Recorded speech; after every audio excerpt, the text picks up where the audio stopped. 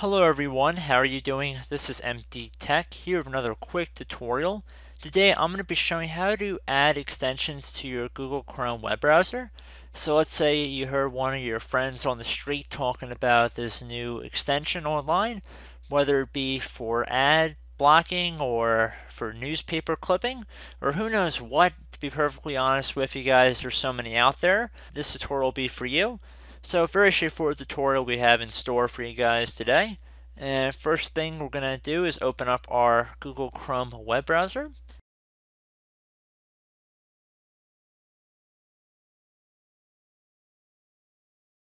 We're going to select the three dotted icon up at the top right corner, which will give us additional options. So you want to left click on that. Scroll down to where it says more tools. And when you're hovering over this, left click on extensions on the left side on this new menu that appears. At the bottom of this list, there should be a button that says Get More Extensions. You want to left click on that. This will take you to the Google Chrome web store, which should have many extensions present in it. There are games, there's different activities in here as well. There's a Google Mail checker, there's LastPass, there's Grammarly, Office Online. There's a lot of very good tools that are included in this web store, and you can very easily search for any tools right here. So there are many users that will actually use extensions, so you can actually, let's just say, type in something here, and then Google will try and figure out what we're searching for. So let's just say I type in Amazon, just for the sake of typing in Amazon, no particular reason. And let's say we want to use the Amazon Assistant for Chrome. We see underneath says offered by, and it'll tell us the website name, and it'll also tell us what other OSs it'll be applicable for as well. So we could see we could use it on the Chrome browser for Android as well. So this is common for any application you see on here, especially the more well-known ones. This one only has about 1100 ratings, so it's definitely not one of the most popular ones. So let's do one that's probably going to be a little more popular. Let's type in LastPass here which is a free password manager. We see this one has about 19,000 reviews. So if I actually just left click on this tile, we get a lot of information about the extension. We see which website's offering the extension number one or who's developing it right here. And it'll give us usually a link to the website of the developer.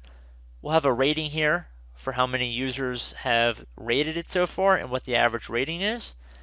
We see what the app is categorized as, and this one seems to be productivity. We can see how many active users this app has, which is almost 5 million. So like I said, you will definitely find the more popular ones. Obviously, will have more reviews and will be more trustworthy generally. Uh, we can see that again, this one is also available for Android.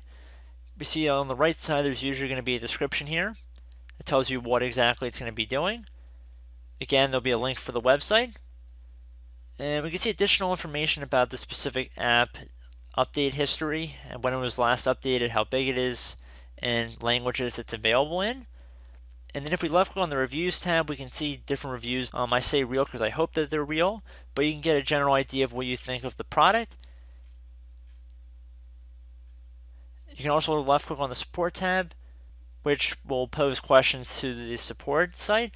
Now, I really don't see that many comments on here for the developer, so I don't know how useful this is, and I really don't know too much about the support tab, but that's just something to keep in mind. It doesn't really mean that much, in my honest opinion. And you can see there's a questions tab and a suggestions tab and a problem tab. And there's also a related tab as well that will give you related applications to this. And then let's just say we want to install it. Just left click on this little button that says add to Chrome. So then we'll get a notification asking us to confirm if we want to install this application. And then we'll very importantly get a little note here exactly what it's going to modify or have access to. So we can see that this one app in general can read and change all your data on the websites you visit and it will also display notifications. Now this is rather common, especially for something like a password manager, but just definitely keep in mind what kind of privileges you're giving this application. So once you're read through this and you're ready to go, just left click on add extension. Now you might have to restart your browser for it to take effect for some of these extensions, but I do not believe this one is going to require that.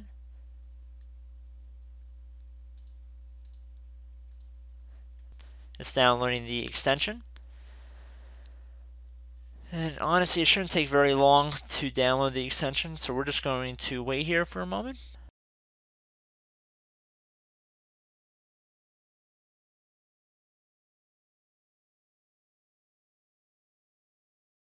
So we can see the password manager has been added to Google and often it'll open up its own web page to try and get you set up.